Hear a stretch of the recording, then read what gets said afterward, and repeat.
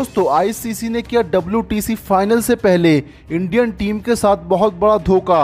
जिसे देख रोहित शर्मा, राहुल द्रविड़ और विराट कोहली का गुस्सा सातवें आसमान पर पहुँच गया। जी हाँ, आपको बता दें आईसीसी ने इंडियन टीम को इंग्लैंड में एक हफ़्ते नॉर्मल ग्रास वाली पिच पर प्रैक्टिस कराई। रोहित शर्मा और बाकी की टीम को लगा कि ओवल क्रिकेट ग्राउंड में भी ऐसी ही पिच होगी। लेकिन जैसे ही कप्तान और कोच ने ओवल क्रिकेट ग्राउंड की पिच देखी तो इन दोनों की आँखें फटी की फटी रह गईं। आईसीसी ने ओवल क्रिकेट ग्राउंड की पिच ज़्यादा ग्रास वाली बनाई है, जिसे देखने में ऐसा लगता है, मानो ये पिच ना हो कोई खेत हो।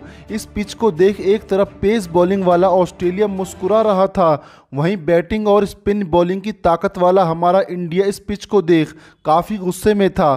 तो दोस्तों, आखिर आईसीसी ने हमारे साथ ऐसा क्यों किया? कमेंट कर हमें ज़रूर बताएँ।